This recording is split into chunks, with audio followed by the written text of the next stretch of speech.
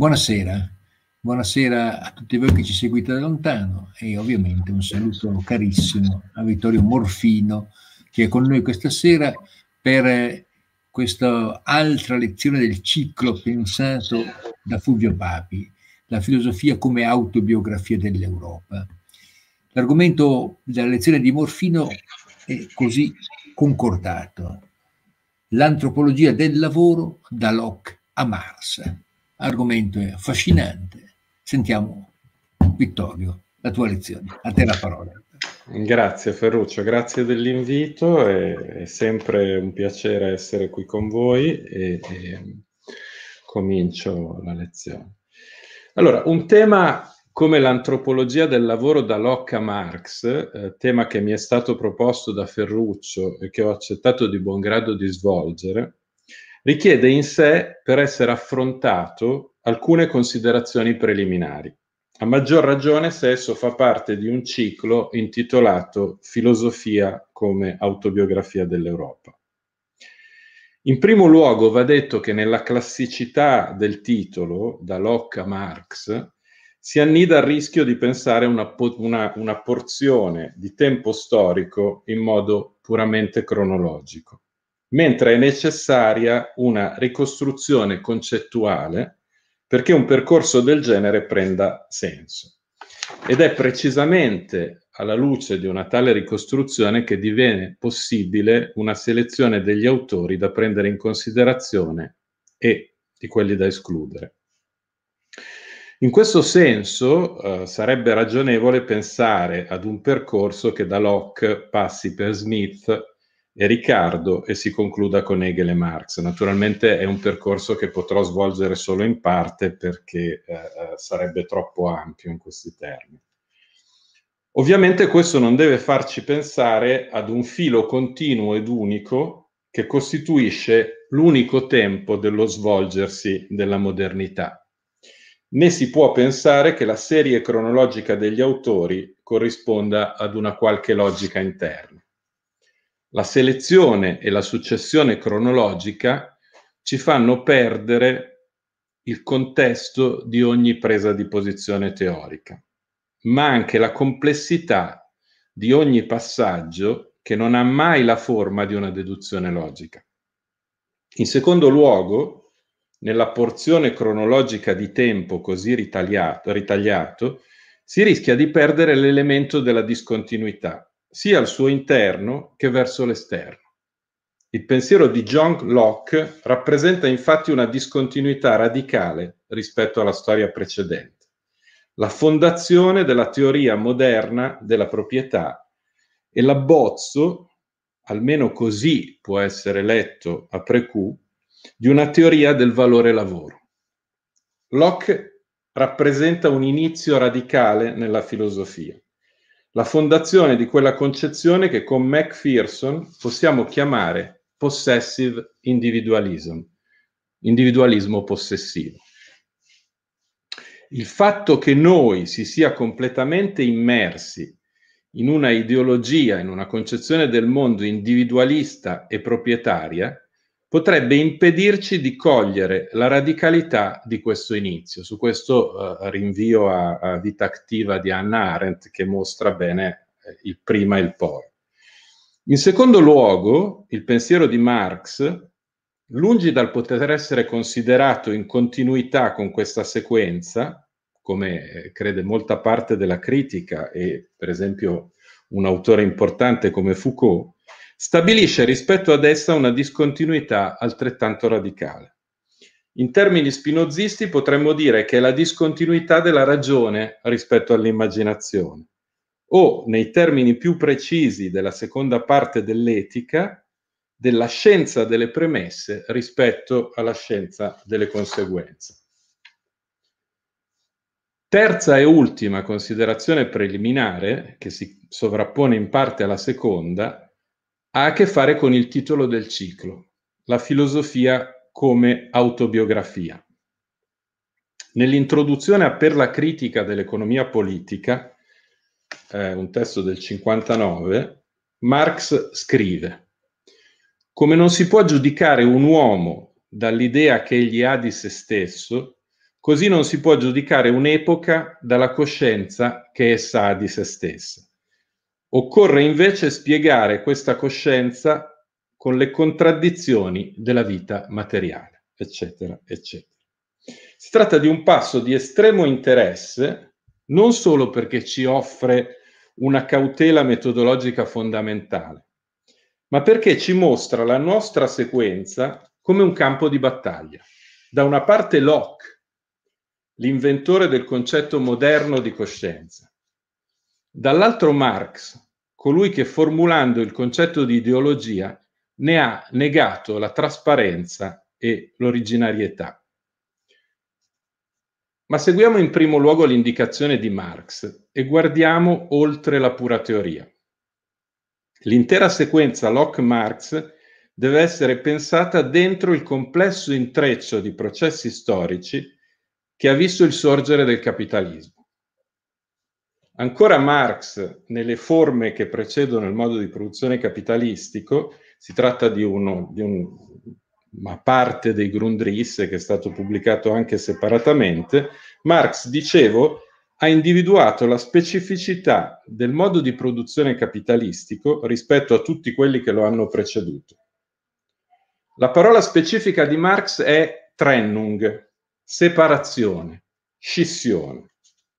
La separazione del lavoro dai mezzi di produzione, la terra in particolare, e ciò che costituisce la specificità del modo di produzione capitalistico.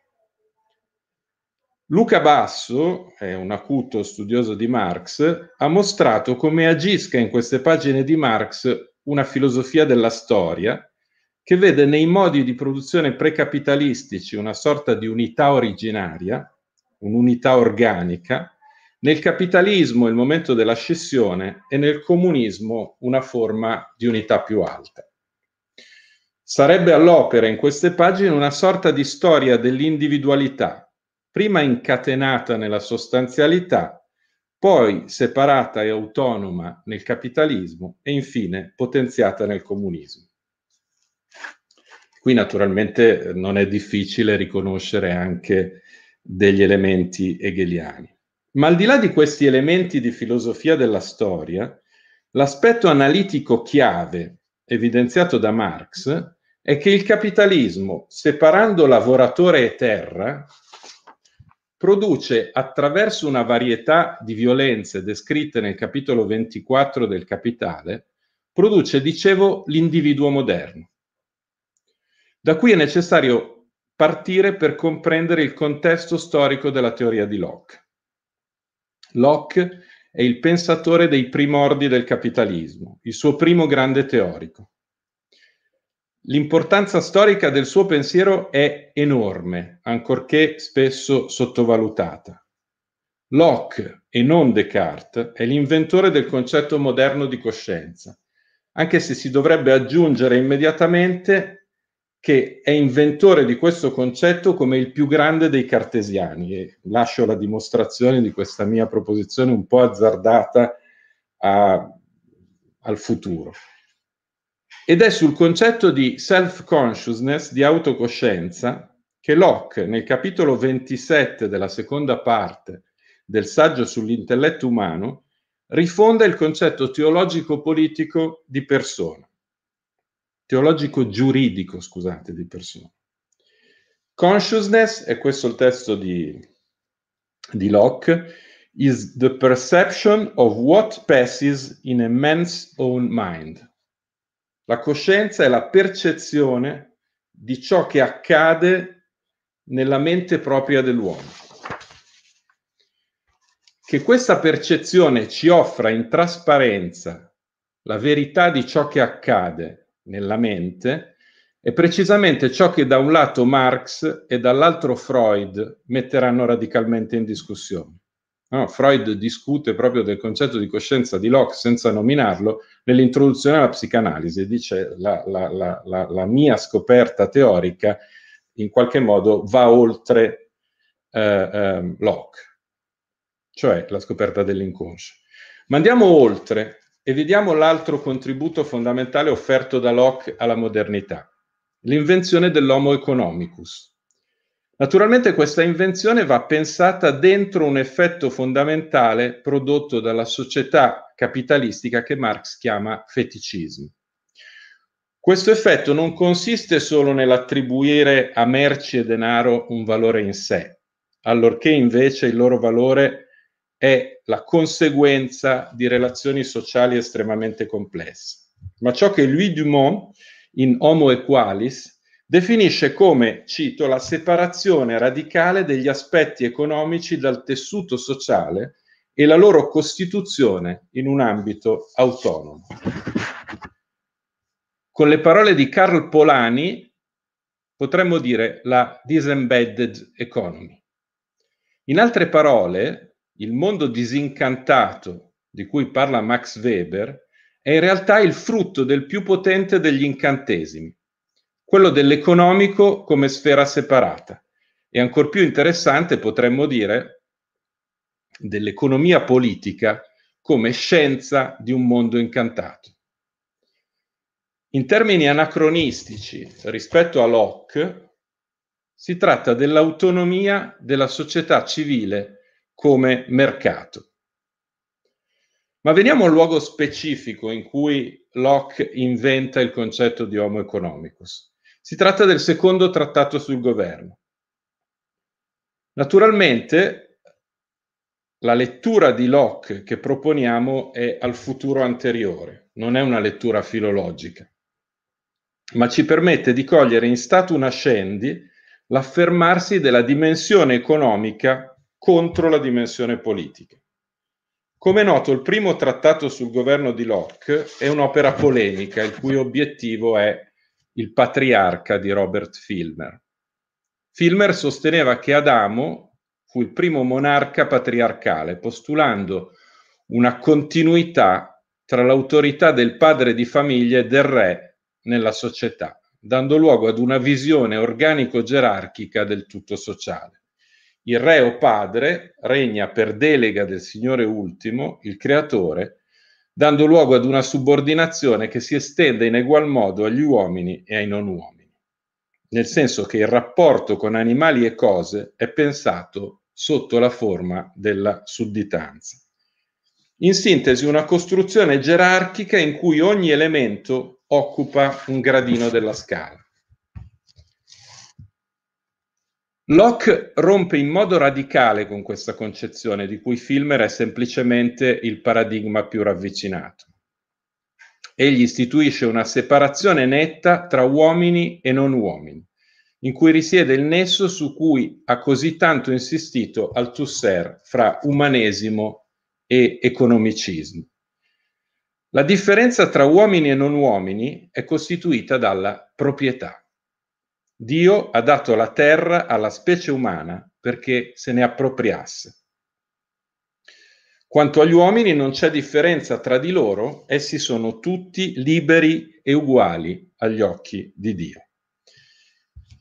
In altre parole, la legge di natura di Locke presenta una gerarchia costruita su tre livelli, Dio, uomini, creature. Il rapporto tra livello superiore e livello inferiore è pensato in termini di proprietà, da qui la centralità della proprietà. Passiamo dunque da una concezione patriarcale in cui il politico è un'emanazione del teologico ad una concezione incentrata sulla proprietà in cui il politico diviene una costruzione liberamente voluta da individui liberi ed uguali. Come scrive ancora Dumont, la proprietà, cito, domina la costruzione artificiale di un sistema politico a, por- a partire da atomi individuali. Fine della citazione. Vediamo nel secondo trattato, paragrafo 5, nella materialità della lettera il luogo di fondazione della moderna antropologia del lavoro.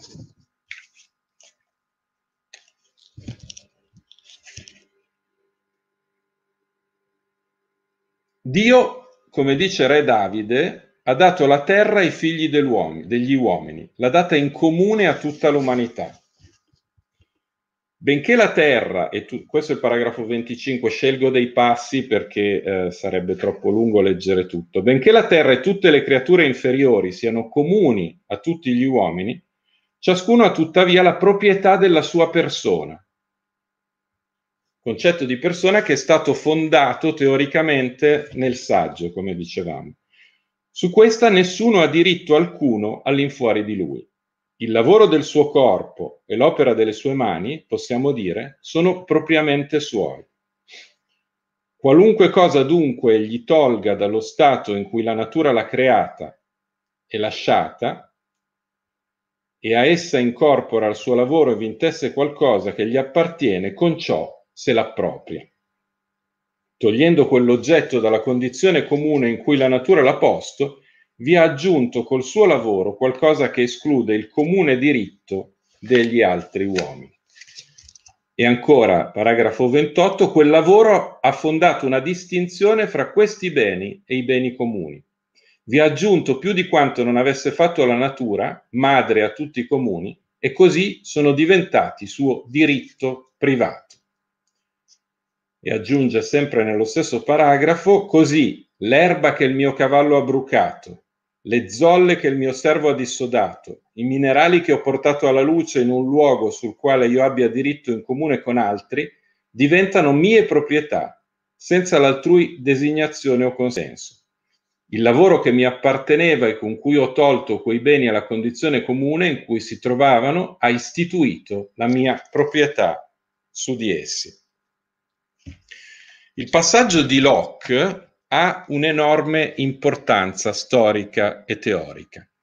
L'invenzione della coscienza permette a Locke di fondare l'identità della persona e questa identità fonda la proprietà.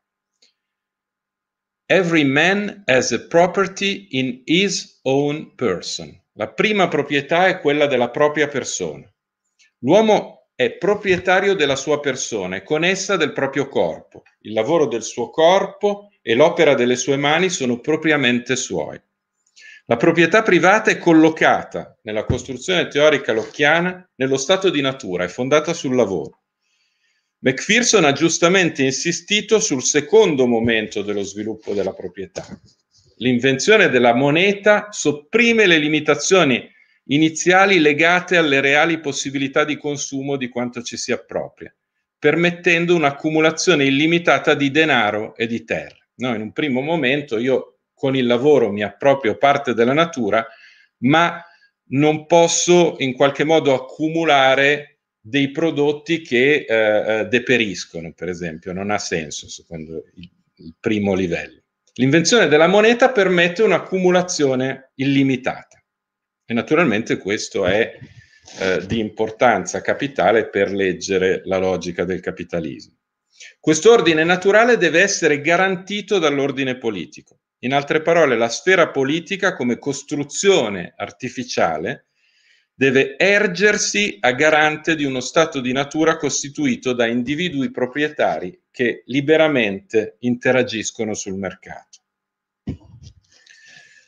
Qui è interessante notare almeno di passaggio che nello stato di natura non solo il servo con il suo lavoro accresce la proprietà del padrone, ma viene giustificata anche la schiavitù di coloro che sono catturati in guerra. Scrive Locke, essi sono schiavi e per legge di natura soggetti al dominio assoluto e al potere incondizionato dei loro padroni. Sempre secondo trattato, paragrafo 85. Non solo, a più riprese Locke fa riferimento al Wild Indian, all'indiano selvaggio che si aggira protervo e nocivo nelle foreste d'America. Il selvaggio indiano ignora il lavoro e dunque è assimilabile alle bestie selvagge che gli uomini civilizzati hanno il diritto di annientare. No, su questo ha insistito molto Domenico Losurdo in Controstoria del liberalismo. Ma torniamo alla proprietà fondata sul lavoro. Fornisce titolo di proprietà il lavoro del servo, ma evidentemente anche quello della donna, inferiore per natura e la cui libertà naturale viene completamente assorbita attraverso il patto coniugale all'interno della famiglia. Ma non solo il lavoro è il fondamento della proprietà, ne costituisce anche la misura. Si tratta di una lettura di Locke al futuro anteriore, come ho già detto, perché sarebbe filologicamente inesatto attribuire a Locke una teoria del valore lavoro, come ha sottolineato per esempio Schumpeter nella sua monumentale storia dell'economia. Tuttavia non si può negare che una proposizione come la seguente possa essere letta in una sequenza con i teorici del valore lavoro. Vi leggo eh, paragrafo 40, sempre del secondo trattato. Neppure così strano come a prima vista può sembrare che la proprietà del lavoro potesse contare più della comunità della terra.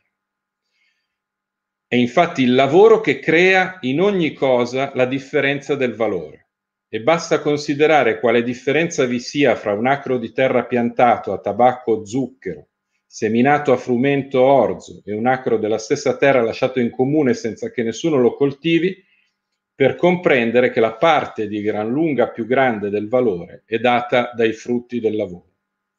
Credo si possa dire con un calcolo ancora molto modesto che dei prodotti della terra che servono alla sussistenza dell'uomo, nove decimi sono effetto del lavoro. Anzi, se vogliamo giustamente valutare le cose come ci giungono fra mano e calcolare i diversi costi, distinguendo quelle che di esse è dovuto esclusivamente alla natura e quello che è dovuto al lavoro, vedremo che nella maggior parte dei casi il 99% deve essere attribuito al lavoro. Ciò che in Locke è solo abbozzato nella ricchezza delle nazioni di Adam Smith, è apertamente teorizzato. L'essenza della ricchezza risiede nel lavoro. Cito la riga d'esordio di, della ricchezza delle nazioni, il, il lavoro annuo di una nazione è il fondo che fornisce ad essa tutte le cose necessarie e comode della vita. Si tratta di una vera e propria rivoluzione rispetto alla teoria fisiocratica che vedeva nella natura e nella terra la fonte della ricchezza. Natura certo aiutata dal lavoro umano, l'agricoltura, ma si trattava di un punto secondario. Il valore di una merce sul mercato, secondo Smith, è determinato dalla quantità di lavoro in essa contenuto. Cito dalla ricchezza delle nazioni a pagina 119, il lavoro è la sola misura universale e precisa del valore, ossia la sola norma con la quale possiamo confrontare i valori delle differenti merci in tutti i tempi e luoghi. Fine della citazione. In cosa consiste questa precisa misurazione? allo stato di natura, se vog- così vogliamo chiamarlo, eh, in realtà parla di un popolo di cacciatori, il valore è determinato dal tempo di lavoro. Un castoro si scambierà con due cervi perché costa un lavoro doppio. La citazione esatta è se in un popolo di cacciatori uccidere un castoro costa di solito un lavoro doppio rispetto a quello che occorre per uccidere un cervo, un castoro si scambierà naturalmente per due cervi, avrà il valore di due cerchi. Questo principio è applicato allo Stato civile in cui vige la divisione del lavoro. Vi leggo il passaggio di Smith. Ogni uomo è ricco o povero nella misura in cui è in grado di concedersi i mezzi di sussistenza e di comodo e i piaceri della vita. Ma una volta affermatasi la divisione del lavoro, con il proprio lavoro si può ottenere soltanto una parte piccolissima di questi. La parte di gran lunga maggiore deve essere tratta dal lavoro degli altri. E quindi uno è ricco o povero secondo la quantità di lavoro di cui può disporre e che è in grado di acquistare. Il valore di ogni merce per la persona che la possiede, che non intende usarla o consumarla personalmente, ma scambiarla con altre merci, è dunque uguale alla quantità di lavoro che le consente di acquistare o di avere a disposizione. Il lavoro è quindi la misura reale del valore di scambio di tutte le merci. Fine della citazione. È la ricchezza a pagina 111. Tuttavia, nello Stato civile, aggiunge subito Smith, la questione è più complessa rispetto alla immagine del popolo di cacciatori.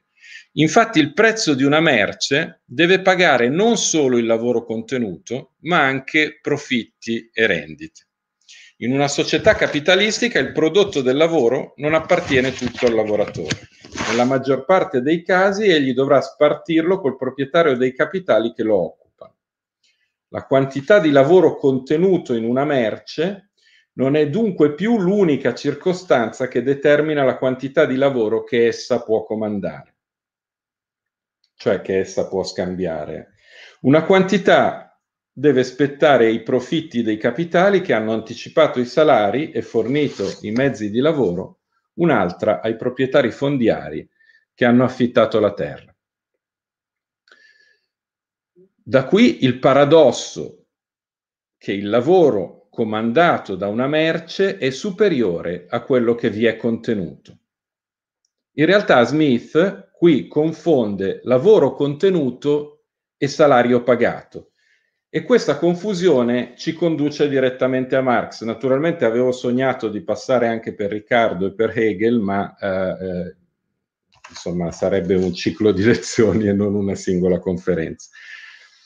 Tuttavia, come ci avverte Althusser, questo errore, quello che noi abbiamo chiamato il paradosso di Smith, è costitutivo dell'economia politica. La svista non riguarda l'oggetto, dice Althusser, ma la visione stessa. In altre parole, non è un semplice errore, una mancanza, ma è in qualche modo una, una tenebra interna, dice Althusser, cioè qualcosa che costituisce la visione stessa dell'economia politica. Dell'economia politica, come dicevo prima, come scienza delle conseguenze, poi farò luce su questa espressione, e come tale, come ideologia di una società capitalistica.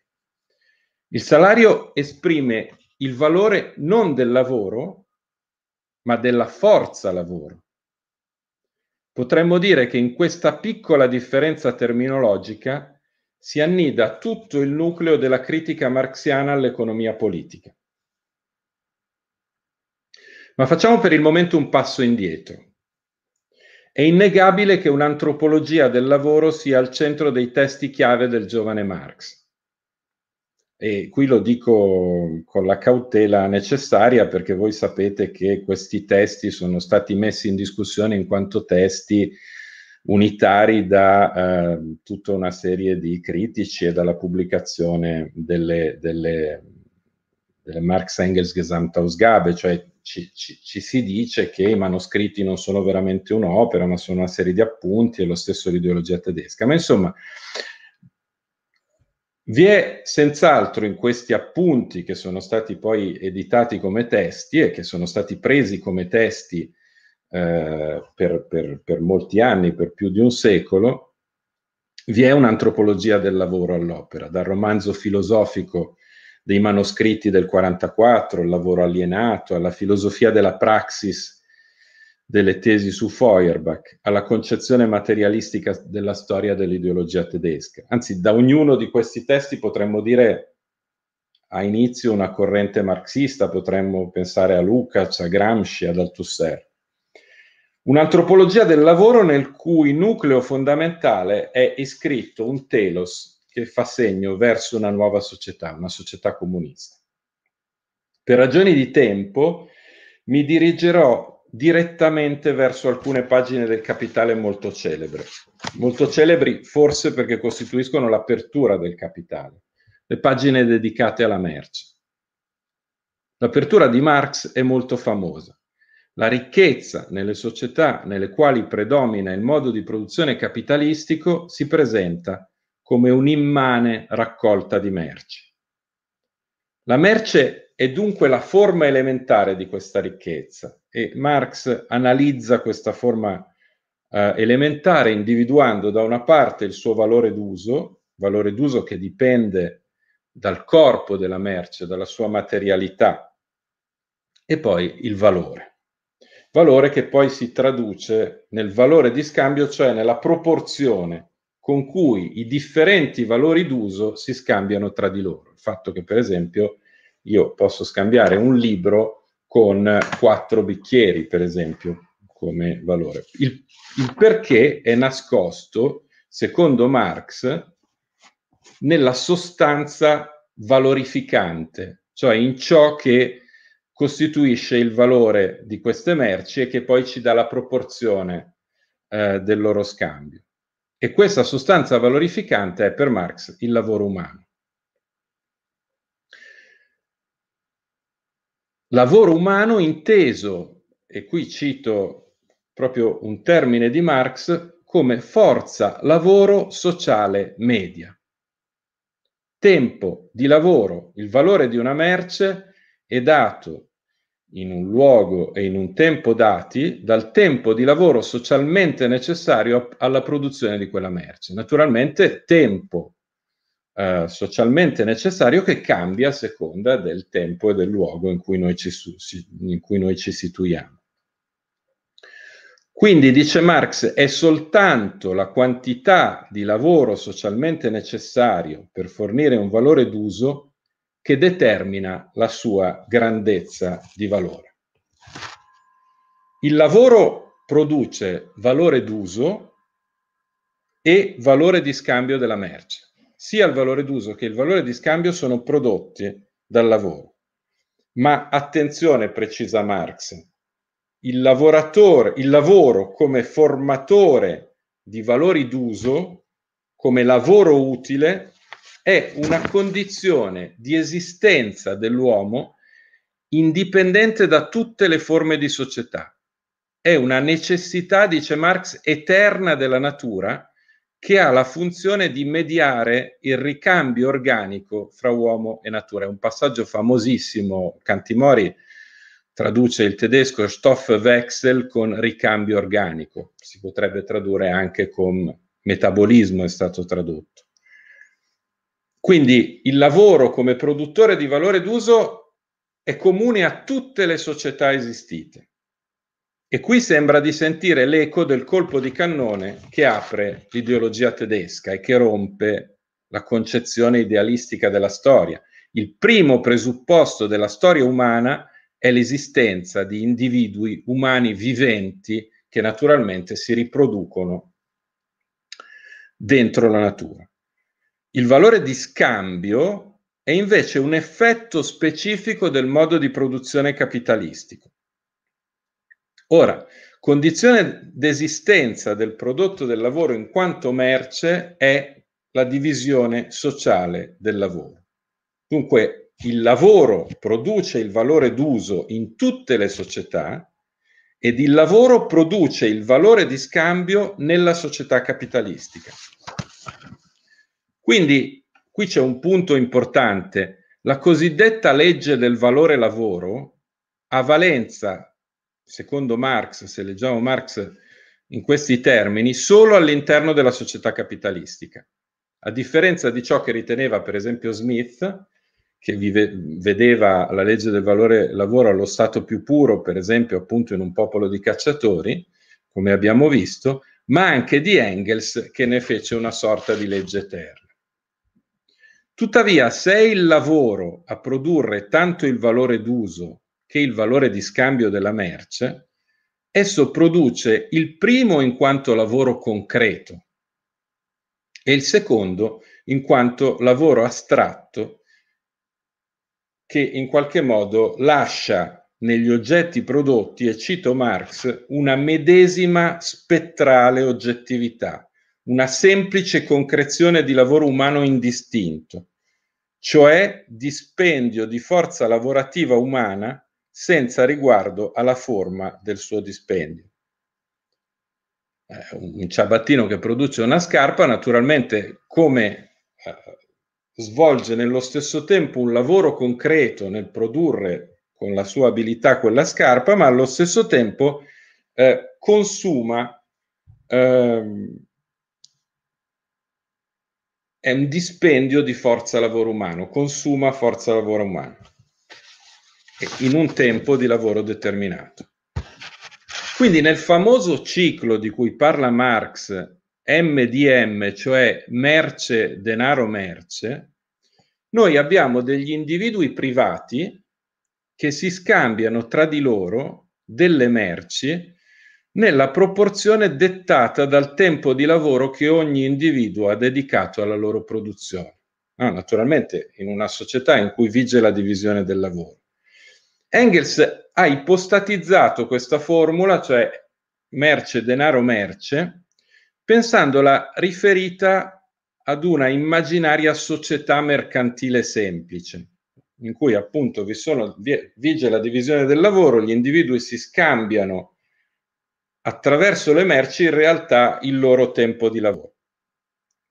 Marx in realtà non immaginava affatto una società del genere, quando parla del ciclo MDM, cioè merce, denaro, merce, si riferisce alla circolazione nella società capitalistica. Tuttavia, qui sorge immediatamente un problema. Gli individui privati si scambiano attraverso le merci ed il denaro tempo di lavoro umano, senza tuttavia saperlo. Cioè lo fanno ma non lo sanno, dirà Marx. Poi vi leggerò il passo perché è molto bello. Questo è precisamente il contenuto della teoria marxiana del feticismo. Gli uomini si scambiano le merci come se non fossero prodotti del lavoro ed usano il denaro come se non fosse una merce, tra le altre merci, che ha un valore che dipende appunto dal lavoro necessario ad estrarre un metallo. Ma nella circolazione un terzo effetto feticistico è necessario, quello della persona giuridica. Su questo ha insistito molto un giurista russo che si chiama Pashukanis, che ora credo sia poco conosciuto, ma è stato importante nel Novecento. Le merci devono essere scambiate da individui che si riconoscono come liberi e uguali, dotati di libera volontà per poter sottoscrivere un contratto privato di compravendita. Ecco come Marx espone la questione nel famosissimo paragrafo sul feticismo, che è l'ultimo paragrafo del primo capitolo del Capitale.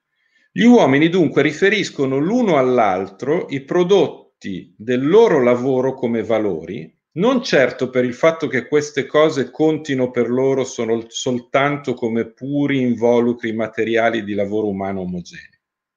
Viceversa, gli uomini equiparano scusate, gli uomini equiparano l'un con l'altro i loro differenti lavori come lavoro umano, equiparando l'un con l'altro come valori nello scambio i loro prodotti eterogenei non sanno di fare questo, ma lo fanno.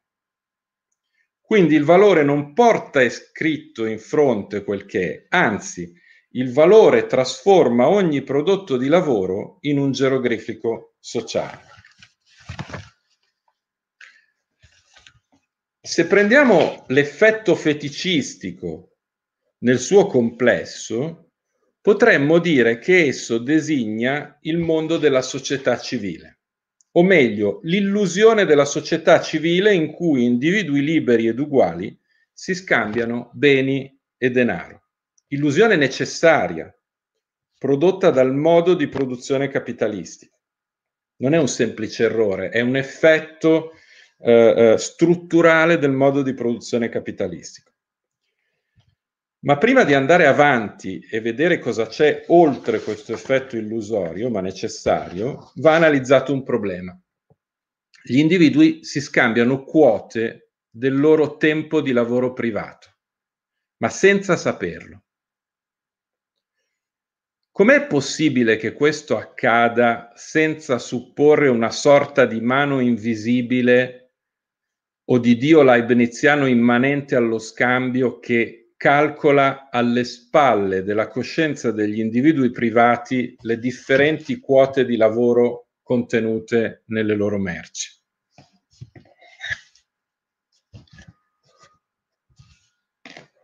Per rispondere a questa possibile obiezione, bisogna scavare sotto il mondo della circolazione e dello scambio e scendere in quello che Marx chiama l'inferno della produzione laddove si cela il segreto della creazione della ricchezza capitalistica, cioè il lavoro non pagato dell'operaio.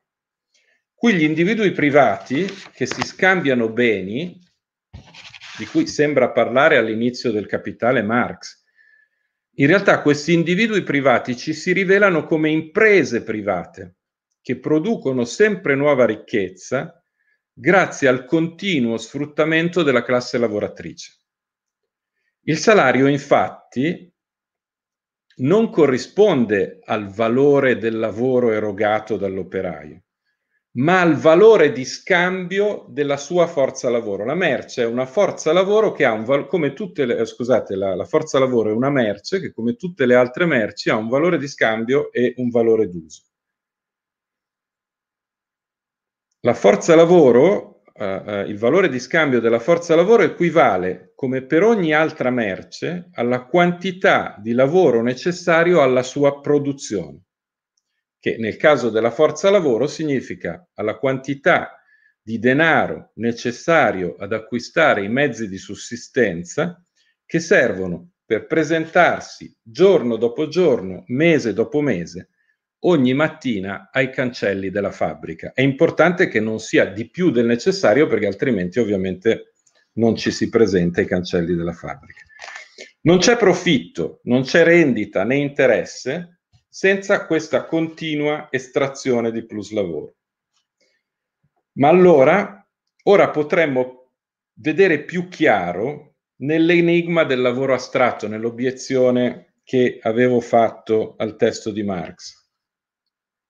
Il lavoro astratto non è tale in quanto astrazione operata dalla mente di un Dio immanente rispetto ai singoli lavori concreti il vecchio Dio buon orologiaio di Leibniz?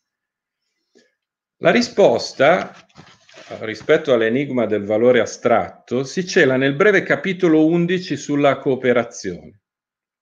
E infatti dentro la manifattura capitalistica e poi nella grande industria che il lavoro diventa materialmente astratto, fattualmente astratto.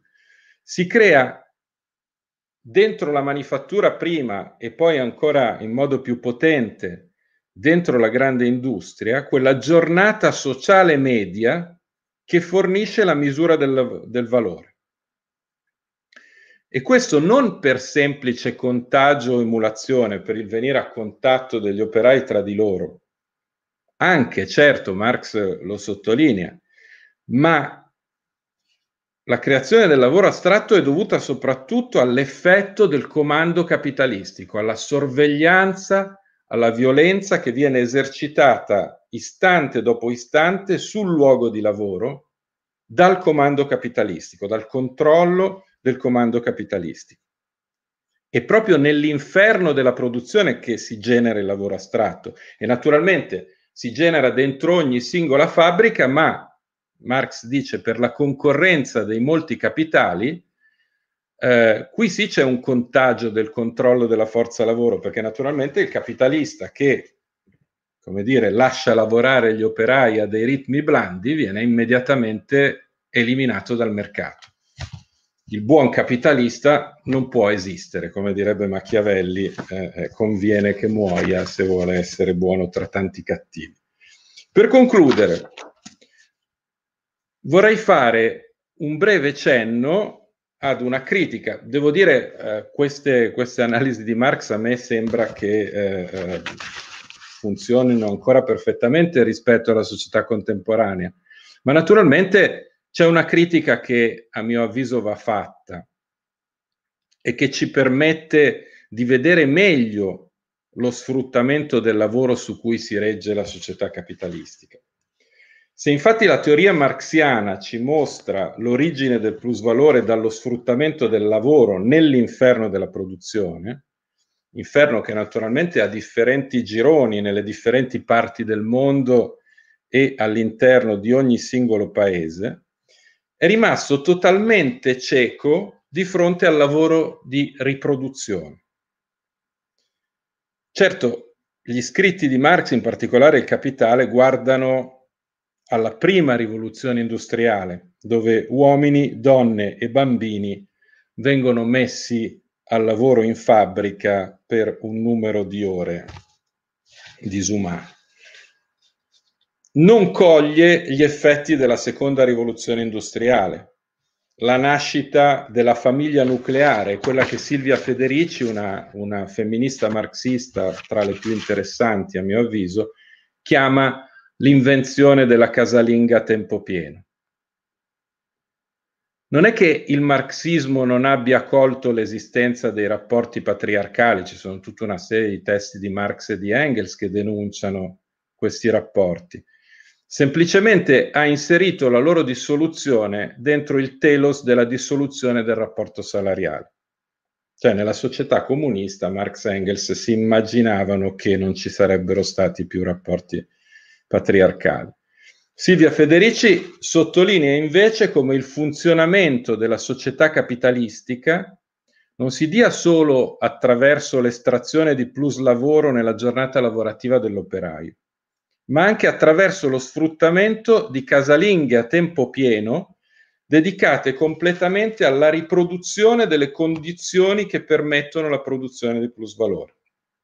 Il lavoro di cura, della forza lavoro presente e futura da cui continuare a estrarre tempo di plus lavoro, lavoro di cura per creare il quale è stato necessario, per usare la parola di Gramsci, un potente dressage e la creazione di una nuova figura antropologica, la casalinga rispettabile, separata dalla operaia e dalla prostituta. Su questa critica, che mi sembra una delle più acute rivolte a Marx, chiudo il mio intervento e naturalmente rinvio a eventuale discussione. Grazie Vittorio, grazie eh, per la puntuale ricostruzione, il celebre passaggio Locke Smith, Marx, l'hai proprio ricostruito con grande, grande puntualità. Adesso vediamo, come sempre chiedo, vediamo prima se ci sono domande da parte dei nostri ascoltatori, sempre, cerchiamo sempre di favorire questo dialogo anche con, con chi ci ascolta. Facciamo quando possiamo farlo dal vivo. Ma... Non ci sono domande, c'è scritto. Non ci sono domande.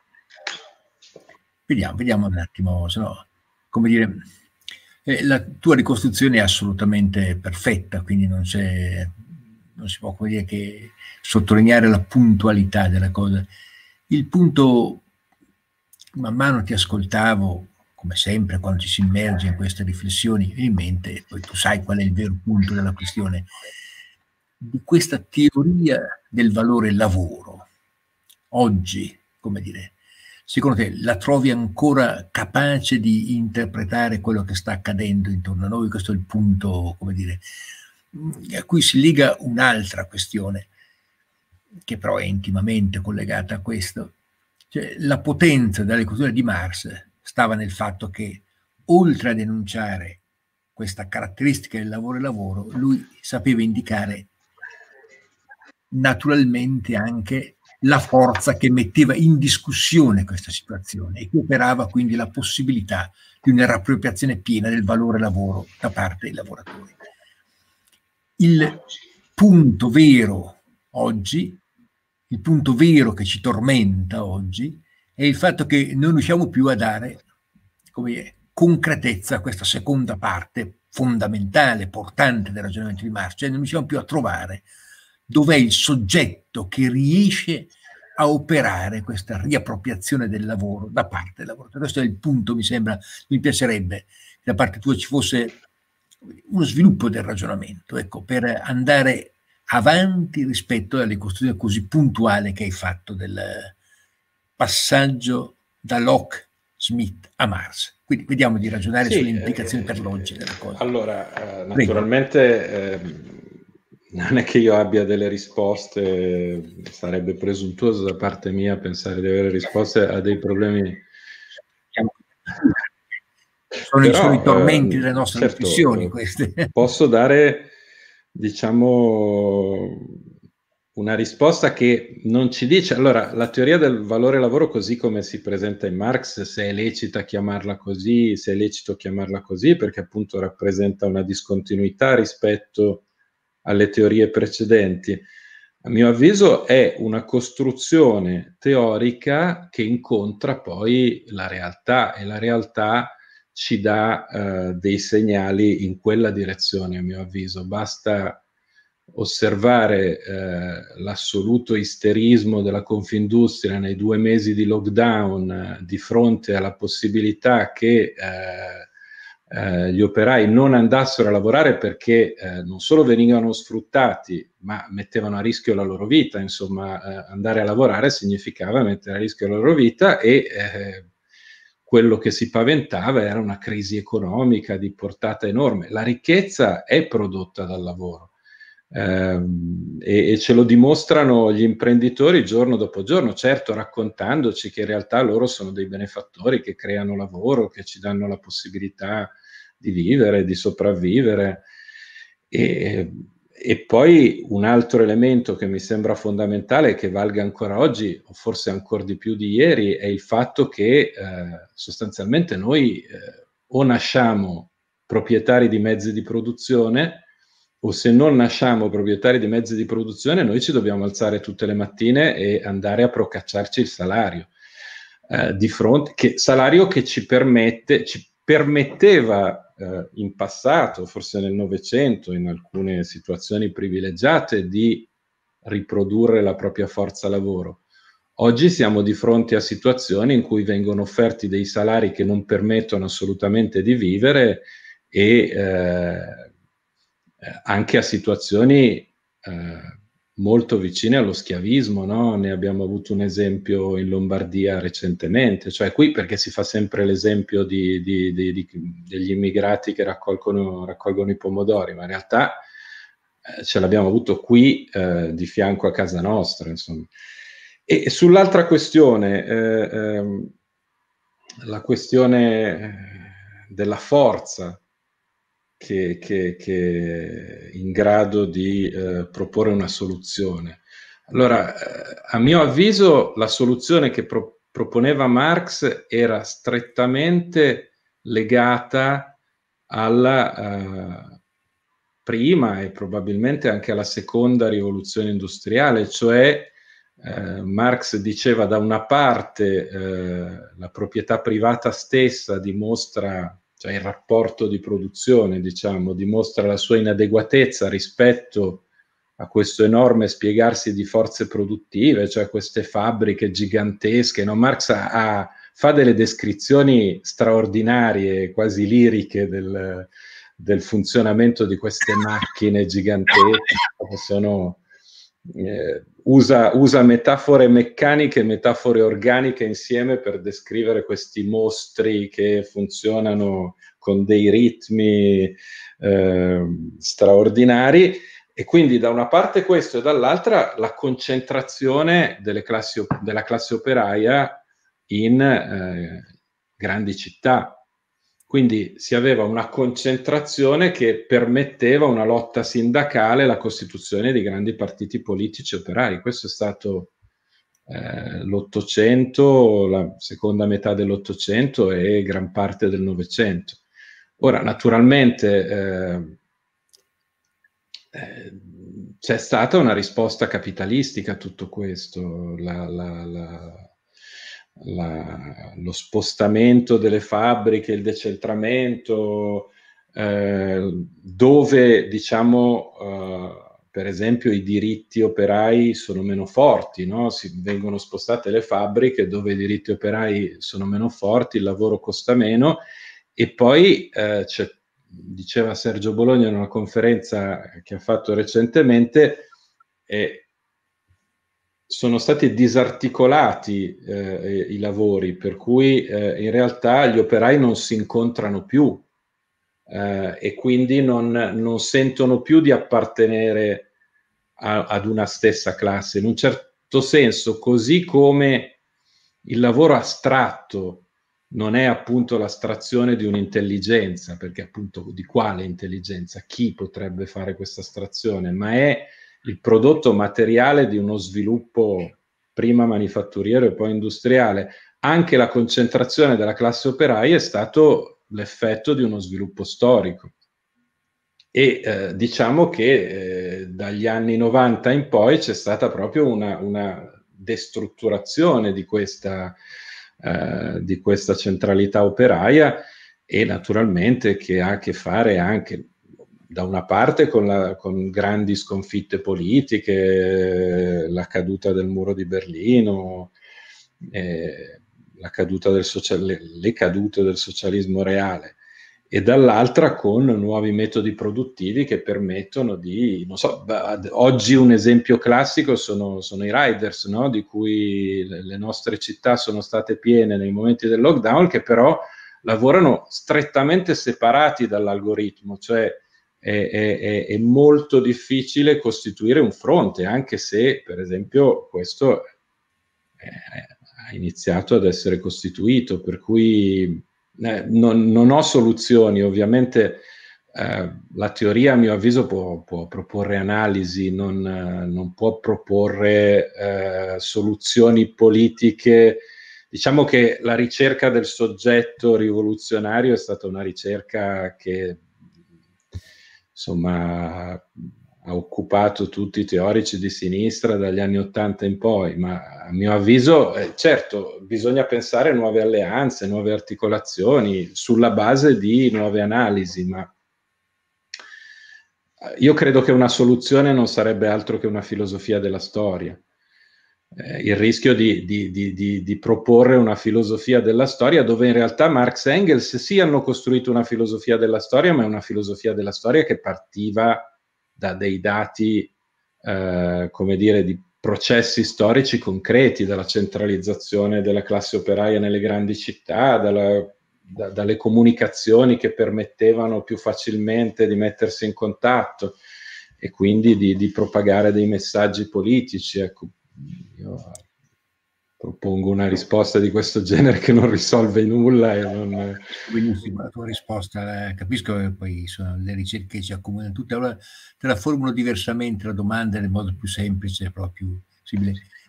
C'è questa antropologia del lavoro che tu hai discusso, che tu hai fatto emergere così, secondo te riesce a essere strumento analitico anche per leggere la società dell'informazione e della comunicazione, la società dominata dal, dalle nuove tecnologie, questa in fin dei conti è la vera questione che abbiamo dinanzi. Questo, in questo senso mi sento di formulare una domanda in questi termini qui. Ferruccio, ho perso, ho perso tre o quattro parole tue. Chiedevo se questa antropologia del lavoro che tu hai ricostruito così puntualmente, tu pensi che riesca a essere come viva come strumento analitico anche per interpretare, leggere la società della comunicazione e dell'informazione, società dominata dalle nuove tecnologie, perché poi questo è il vero punto, secondo me, su cui dobbiamo metterci, come dire, lì a pensare seriamente. Ma io, ecco, su questo eh, sinceramente devo dire non so. Eh, su questo non so, ci sono naturalmente dei teorici che eh, dicono di sì, che è possibile, ehm, ma non saprei, però eh, quando noi eh, parliamo di società della comunicazione non dobbiamo dimenticare che eh, in realtà eh, esistono ancora delle, delle enormi aree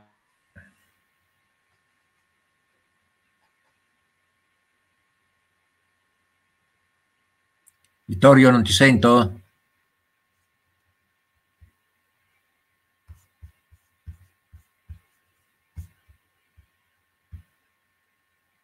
Vittorio, ti ho perso?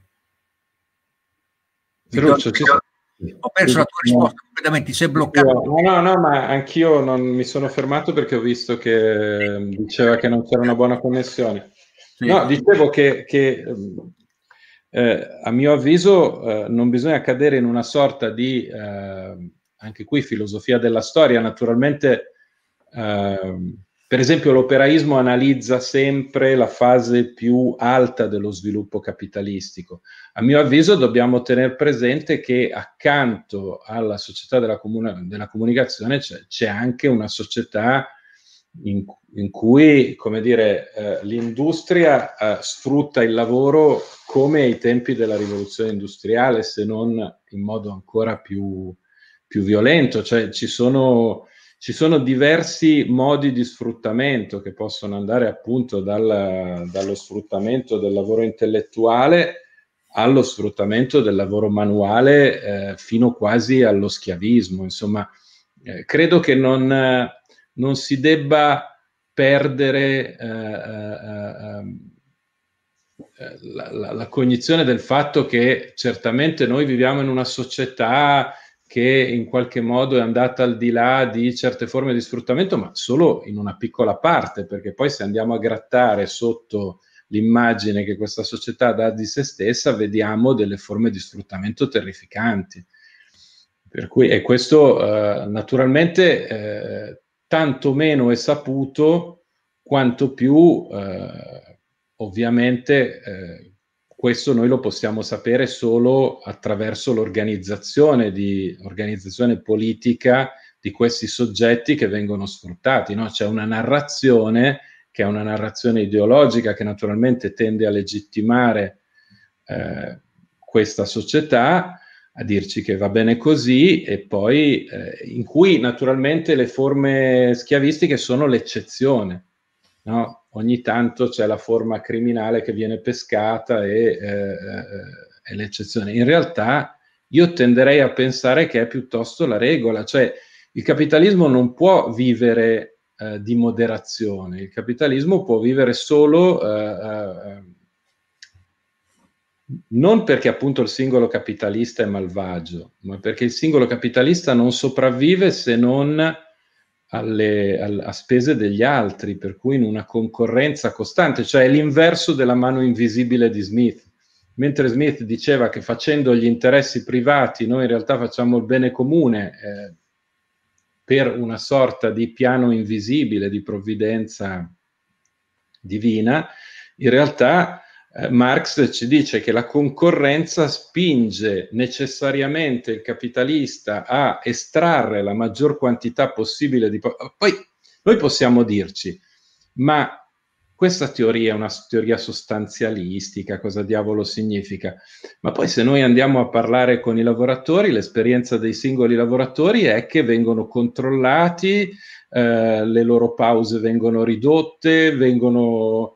Eh, come dire, cronometrati i, i, i, momenti in cui vanno in bagno, viene com- cronometrata la pausa pranzo e, e, e, questo che cosa ci dice? Ci dice che eh, il capitalista cerca di estrarre eh, la maggior quantità di lavoro possibile da eh, colui che lavora. E questo un po' a tutti i livelli, persino da noi in università stanno cominciando ad estrarre la maggior quantità di no? un lavoro che in fondo era un lavoro molto rilassante, sta diventando un lavoro in cui bisogna essere presenti e verbalizzare, monitorare, insomma.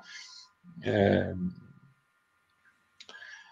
soprattutto naturalmente, naturalmente, bisogna testimoniare che questo lavoro è stato svolto, dove appunto in, in ambiti in cui è un pochino più difficile Allora qua, ci sono, domande, ci sono domande dal, dei nostri ascoltatori. Gene Paone. È la forza, allora, è la forza della coscienza di classe il soggetto che oggi può recuperare il valore del lavoro. Beh, sì, eh, è la forza della coscienza di classe tenendo presente appunto che eh, io eh, citavo, citavo, Silvia Federici, che è una femminista marxista molto interessante, di cui no, non condivido necessariamente le conclusioni, ma trovo eh, che le sue analisi siano molto interessanti. Cioè, eh, forse è pensare nuove forme di alleanza eh, tra eh, gli sfruttati, ecco, tra chi vuole in qualche modo combattere il capitalismo e, e, e quindi, per esempio, una, una, cosa di cui non ho parlato, ma uh, uh, che è evidente in, nel, in alcune parti, in alcune tendenze del marxismo, è un'eccessiva uh, sottolineatura dell'importanza delle forze produttive. No, il fatto che le forze produttive in qualche modo da sole ci porteranno alla liberazione. Ecco, le forze produttive, naturalmente una lotta ecologica radicale, così come una lotta femminista radicale, eh, in qualche modo eh, eh, ci permette di ripensare anche la teoria marxista. Ci sono dei bei testi in cui si è dimostrato come sia Marx che Engels, soprattutto negli ultimi anni, avessero una sensibilità ehm, per eh, eh, Marx lo dice chiaramente, no? il capitalismo può esistere solo eh, distruggendo costantemente eh, le due fonti che producono la sua ricchezza, la natura e il lavoro. No? Massacra i lavoratori perché eh, in effetti li, li, li, li spreme all'inverosimile e spreme all'inverosimile la natura. Ora, eh, non si può dire che nel socialismo reale questa sensibilità ecologista di Marx e di Engels fosse stata tenuta presente, naturalmente. Per cui io penserei più che riproporre una, un, un, soggetto pieno della storia che va verso la liberazione attraverso una coscienza di classe trasparente, mi sembrerebbe, ma, ma, su questo francamente io non voglio fare il profeta, cioè non ho soluzioni, mi sembrerebbe eh, più, più adatto alla situazione pensare delle strategie in cui si uniscono sensibilità differenti, la sensibilità ecologica verso un mondo che è stato devastato dal capitalismo, eh, la sensibilità naturalmente per le lotte femministe che a mio avviso sono di importanza cruciale e, e e naturalmente la sensibilità per eh, il lavoro in fabbrica, per lo sfruttamento, unendo più elementi, credo. E, purtroppo queste tra- tradizioni spesso non sono state in dialogo tra di loro. E questo forse bisogna, bisogna lavorare a costruire un dialogo, cioè non prendere spie- la lotta al patriarcato come unica spiegazione o la lotta di classe come unica spiegazione o la lotta per la natura come unica spiegazione, cioè in realtà tutte queste lotte vanno a impattare, se portate alle estreme conseguenze, in modo molto duro con la società capitalistica. Cioè la società capitalistica non può funzionare di fronte a una lotta radicale che affermi, eh, eh, per esempio, il fatto che la natura non debba essere consumata eh, in modo insensato o il fatto che la donna non debba essere sfruttata attraverso il lavoro di cura eh, in modo barbaro. No? tutti questi, questi elementi, a mio avviso, possono comporre una, gli elementi di una nuova politica di liberazione. Vediamo ci sono altre domande.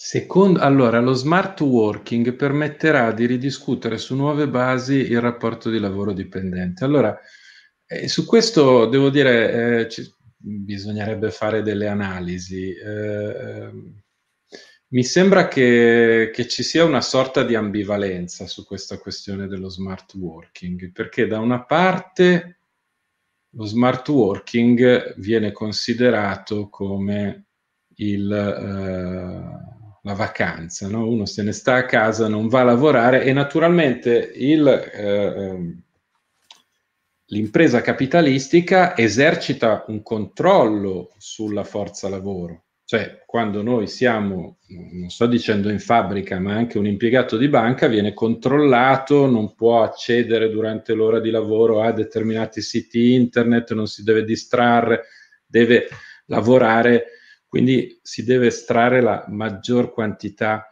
di lavoro possibile da lui. E quindi il fatto che se ne stia a casa è... Eh, lo, lo, lo, sottrae quasi a questa forma di controllo, però da, da un altro lato, ehm, ma qui bisognerebbe fare delle inchieste serie, insomma io, io, parlo semplicemente per aver chiacchierato con degli amici, dall'altro lato il, la giornata lavorativa si estende all'infinito, cioè con lo smart working non finisce mai la giornata lavorativa, in qualsiasi ora, adesso non voglio fare l'esempio del professore universitario che in fondo è un privilegiato, però riunioni a qualsiasi ora, naturalmente dove sei, sei a casa, c'è il lockdown eh, e quindi ci devi essere a tutte le riunioni a qualsiasi ora del giorno. E ehm, quindi secondo me c'è un'ambivalenza nello smart working, cioè da una parte ti sottrae al controllo più fisico, più, più, più odioso forse, no?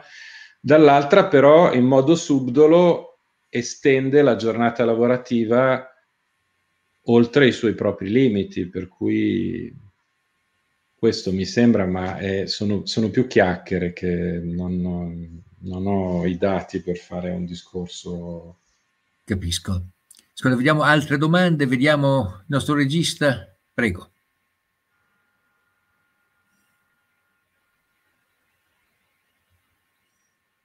Andiamo incontro a un mondo dove sarà la regola un nuovo schiavo super sfruttato e controllato che soppianterà il lavoratore, soprattutto se manuale ed esecutivo.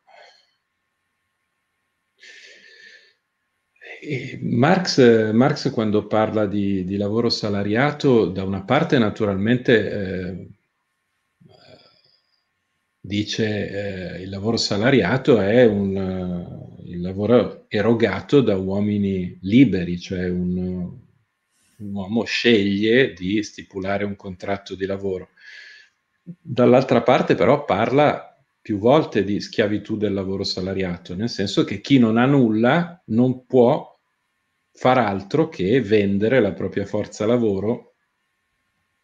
Dall'altra parte c'è un altro problema che questo uh, uh, lavoratore deve essere anche un consumatore, cioè dal Fordismo in poi noi, eh, come dire, gli sfruttati sono diventati anche consumatori di merci, perché altrimenti il meccanismo si inceppa cioè si devono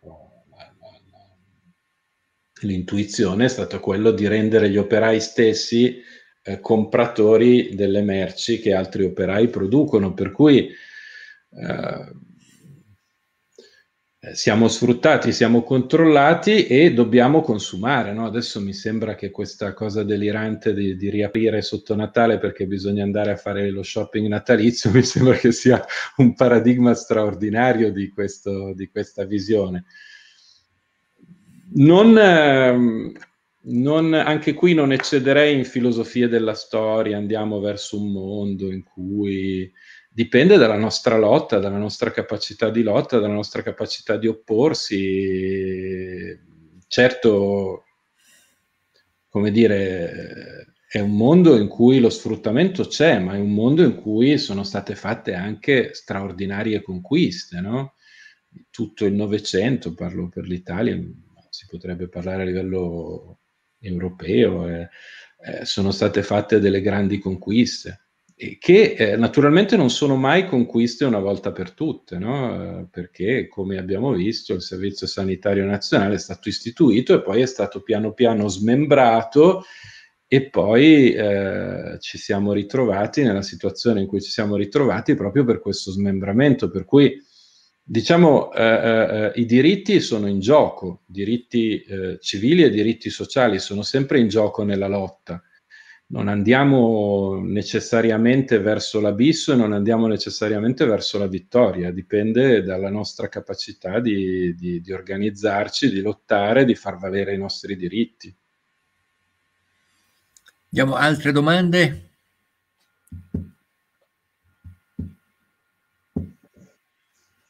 Quale ruolo gioca la rappresentanza sindacale in un contesto di sfruttamento dei lavoratori?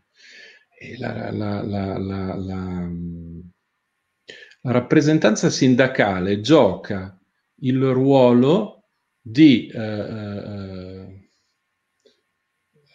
diciamo che gioca il suo ruolo, cioè deve sottrarre porzioni di eh, plusvalore che poi si tramutano in profitto, in rendita, in interesse eh, al capitalista e deve sottrarla sia in forma di un miglior salario, cioè guadagnare parti di quel lavoro che l'operaio o, il lavoratore eh, dà gratuitamente all'imprenditore perché è sotto ricatto. E la storia del Novecento è stato questo.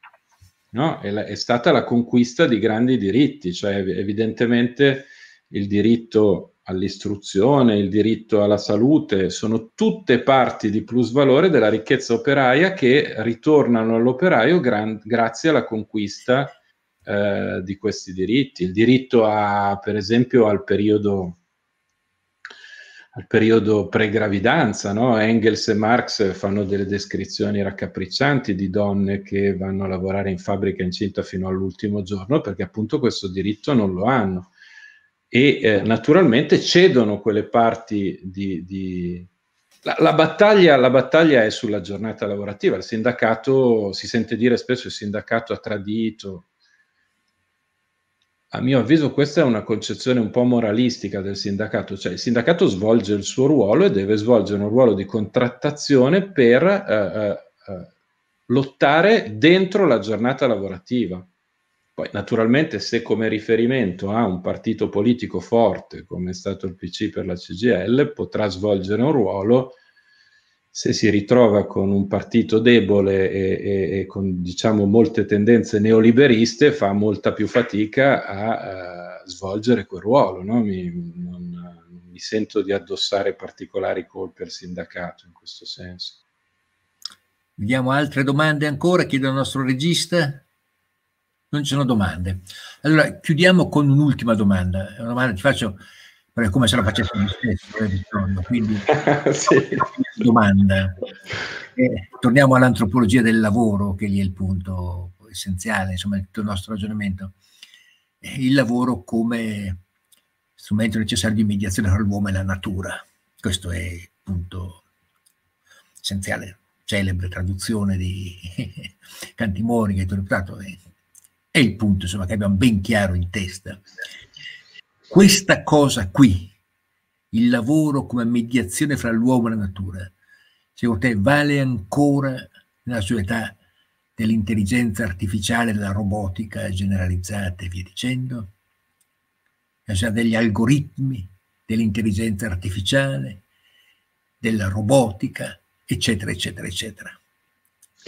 Certo, è, è una, una, mediazione molto complessa, però una cosa secondo me eh, bisogna tenere ben presente. E devo dire che è una cosa di cui io mi sono reso conto, sto parlando di Marx e eh, non di quello che penso io, questa questione che bah, insomma forse sarebbe irrilevante, ma um, cioè Marx dice a un certo punto guardate che le macchine non sono fatte per, perché c'è questa utopia, no? La macchina a un certo punto risolverà tutti i problemi e quindi vivremo tutti bene. I, i miei giovani colleghi mi, mi, dicono che esiste una corrente che si chiama accelerazionismo che parla in questi termini. Io non, non, sono, non sono, sempre, cioè non, non, riesco a seguire tutte queste mode, però insomma la versione da incubo di questa lezione, come tu sai benissimo, insomma, perché questo porta via, distrugge il lavoro, tutto via dicendo, insomma, sono i due poli estremi del.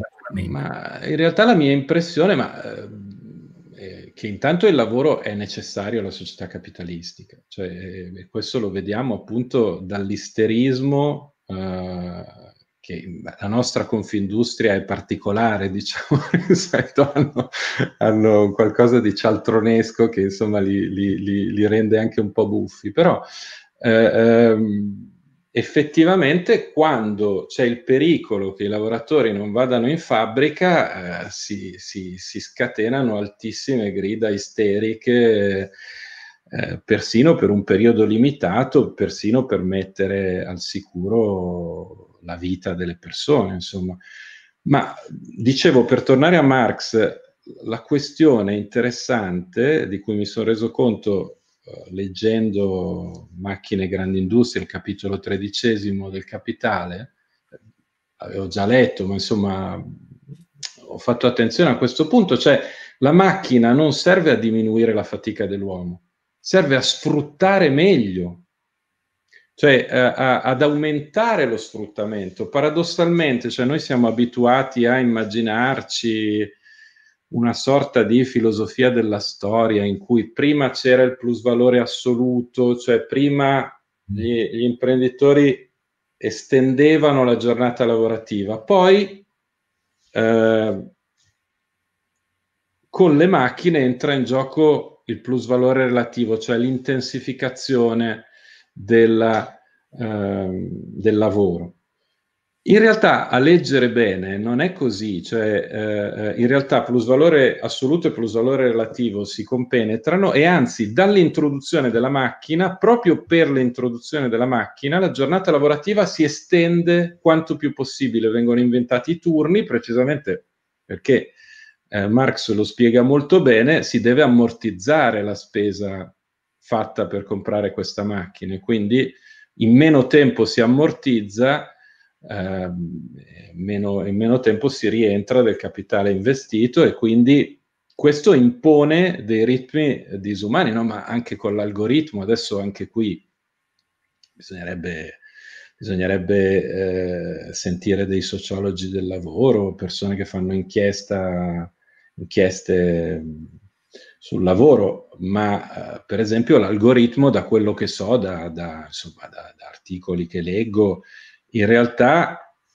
impongono no, quel lavoro astratto di cui parlavamo, cioè impongono al lavoratore dei ritmi e mettono in concorrenza i lavoratori tra di loro per tenere i ritmi sempre più alti. Chi non tiene il ritmo viene automaticamente escluso. Per cui eh, la macchina non è ciò che libera dal lavoro, ma è eh, ciò che eh, in qualche modo è uno strumento per, eh, eh, per, estrarre ancora più tempo di plus lavoro. Mi Bene. sembra. Penso che possiamo chiudere qui, come vedi io ho giocato, come dire, a rilanciare le domande che sono le riflessioni che attraversano in continuazione queste nostre letture, riletture di questi passaggi fondamentali della filosofia europea, alla fine, perché di questo stiamo parlando. Passaggi fondamentali e sono quelli che probabilmente ancora ci aiutano a cercare di capire tante cose intorno a noi. Vittorio, grazie di cuore per la tua conversazione. Grazie a voi. Al prossimo appuntamento e grazie a tutti quelli che ci hanno ascoltato.